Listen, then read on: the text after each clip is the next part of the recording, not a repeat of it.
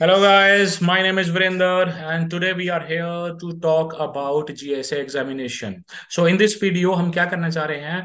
पहले मैंने आपको जर्नल सेक्शन का सोल्यूशन दे दिया है ठीक है?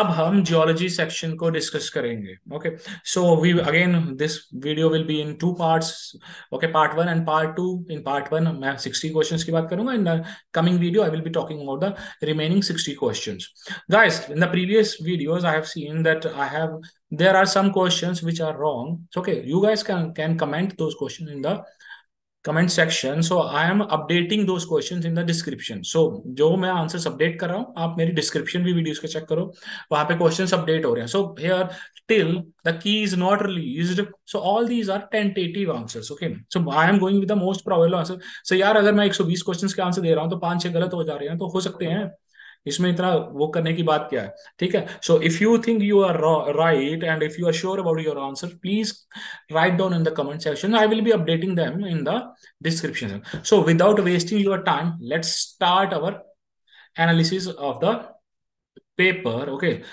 So, guys, let's start. This is our paper. So first question is the main difference between gradualism and catastrophism is based on which one of the following geomorphic attributes. So I'm not sure about this answer, but my friends are saying that its answer is geomorphic process. Okay, let's move to the question number second. Which one of the following processes played the most dominant role during evolution stages of the atmosphere in defining the present day oxygen concentration in the atmosphere? Again, guys, this is not a direct question. Its answer is again debatable. Okay, and if I have to choose the answer of this question, I will go with photosynthesis species but during the second stage of the evolution of the atmosphere उस second evolution में क्या हुआ था? Water vapours in the form of the steams got accumulated in the atmosphere so वो हमारा second major atmosphere था. But third जो major atmosphere था, उस टाइम पे क्या हुआ था? Plants during the photosynthesis basically the present atmosphere which we see is based on the human activities so plants, when for a photosynthesis करना start किया था तो which led to the accumulation of the oxygen. Okay. So some are saying A option, but if I have to choose, I will go with the photosynthesis one. Now the third question, the third question is the zone marking the end of the decrease in temperature with increase in latitude. Its correct answer is mesopause, but some are debating it with the tropopause, but its answer is mesopause. Fourth question, match list one, match list two. So it is a very simple question from igneous structures. Okay. So here laccolith, uh, lopolith, phacolith, stocks. Okay, guys. So this is a very simple question and its correct answer is D. Next question we have, let me unzoom it a bit. Consider the following statements regarding continental lithosphere. Okay, the first option is it consists of buoyant, low density crust and upper mantle. This is wrong. Okay, why it is wrong? Because lithosphere is made up of upper part of the upper mantle. Okay, it is not entirely made of the upper mantle. So first is wrong. Second goes part part of the lithosphere takes part in the mantle convection process. It is again wrong Again, third, its average thickness is about 150 kilo. This is correct. So correct option is B only. The critical temperature at which all magnetic materials become non-magnetic, its Curie point. Consider the following statement. It is characterized by necessary channel slope and shape to maintain velocity required to transfer so i'm not sure about this answer this question's answer so what you guys can do you guys can comment the answer of this question in the comment section so we can decide the answer and i will be updating the answers of those questions which i'm not going to cover in the uh, description so you guys after watching the video you guys can see the description if i have a updated sometimes क्या होता questions गलत भी हैं तो I will be changing them and uh, updating them in the description okay guys Eighth question, which one of the following is not associated with a subclass? Again, I'm not sure, but if I have to choose, I will go with subtidal environment. Question number nine, consider the following statements regarding incised meanders. So let's read them. It is a depositional feature. No, it is not a depositional feature. So first हो नहीं सकता A or D cancel हो जाते हैं. It represents a relative drop in base level. Yes, it represents. It generally flows in steep narrow bedrock valley. Yes it is associated with flood plains no. So correct options are only 2 and 3 so this is your answer. Now let's move to the next question. Match list 1 and list 2 and select the correct answer. Blind valley hanging valley incised valley lowest valley. This is again a very simple answer. Okay guys. Now lowest lowest are for wind. Okay, incised valleys of river. Good. So the correct answer is B. A cubic rock piece having one dimension of 2 meter was broken into 8 cubes having one dimension of 1 meter. What will be the change in the surface area because of this mechanical weathering process? Okay, so you have to calculate the surface area. He has done in the question 6a square 24, then 1 meter 6 into 6, then into 848 So its answer is surface area will be doubled. In a basaltic terrain, which one of the following clay minerals will be present in the low mean annual Smectite is the right answer here. Which one of the following materials shows a combination of recoverable elastic strain and permanent deformation? Its correct answer is elastic plastic. Match the following here. Linear strain, shear strain, uniaxial strain, and pure strain. Okay, guys. So here you need to match them. So here, if we see the linear strain, linear strain gives it matches with the change in length parallel to the given coordinate. Okay, so A is with two. Okay, options. Options in A, two, so B and C, you have to solve one more. B, shear strain. Shear strain goes with the change in shape by changes in angle. Okay, so B is with the three. So this is your correct answer. B. Fold in which the hinge zones are completely detached from the limbs are called intrafolial folds. Okay, so chevron, it has drawn like this. Concentric is like this. So correct option is your intrafolial folds. Which one of the following linear deformation structure is found restricted to the interface between a competent rock and an incompetent? It is a mullion. Which consider the following statements regarding faults. Let's read them. The terms ramps and flats are used for steep and sub-horizontal. No, this is wrong. Sinistral sense stick faults are called right lateral. Good, this is right. Two separate normal faults dipping towards each other create a host graben structure. Yes. No, no, no, no. They do not create a, create a graben structure. Okay, this is wrong. A fault that steepens downward is called a listric fault, while downward flattening faults are called anti-listric. This is correct. So we have found two correct options, 2 and 4.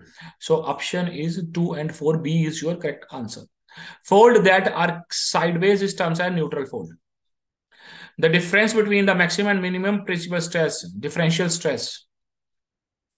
Which one of the following statement regarding fractures is not correct? Increasing the confining pressure make it necessary to increase in the order of fracture. Yes, correct.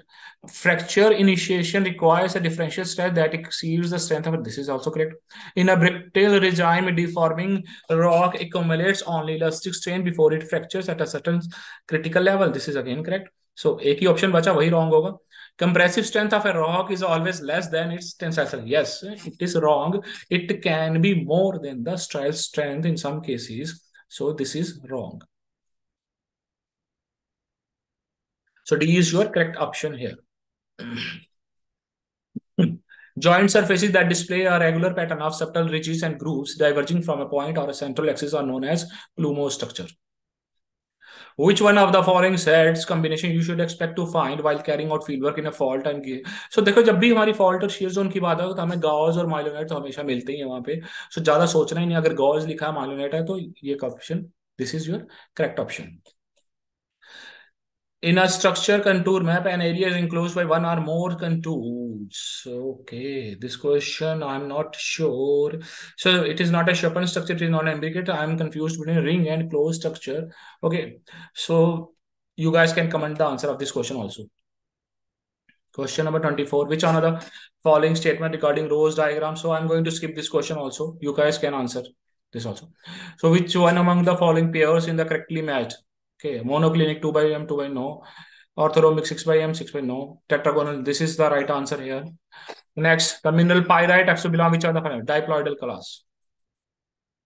The crystal 4, इसकी face बताना है तो this is 64A. This is 230. Tetrahedral, repeat distance. You guys can find it on your own.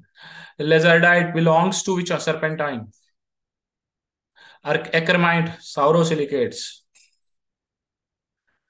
Which one of the following minerals exhibit a peristatic boglite and Hutton color? Huttenlocher is shown by plagioclase. Okay. First, it is a solid solution. Which one of the following pairs of the mineral is not an example of polymorphism? Calcite and iron same, tridymite and cristobalite, SiO2, pyrite and marcasite same, edenbite and enstatite is your only option, which are not representing polymorphism. This one, some specimens of a plagioclase show spectacular colors ranging from blue to green, yellow, or red. The iridescence is called labradorescence. Which of the following statement regarding micas is correct? Okay, let's read them.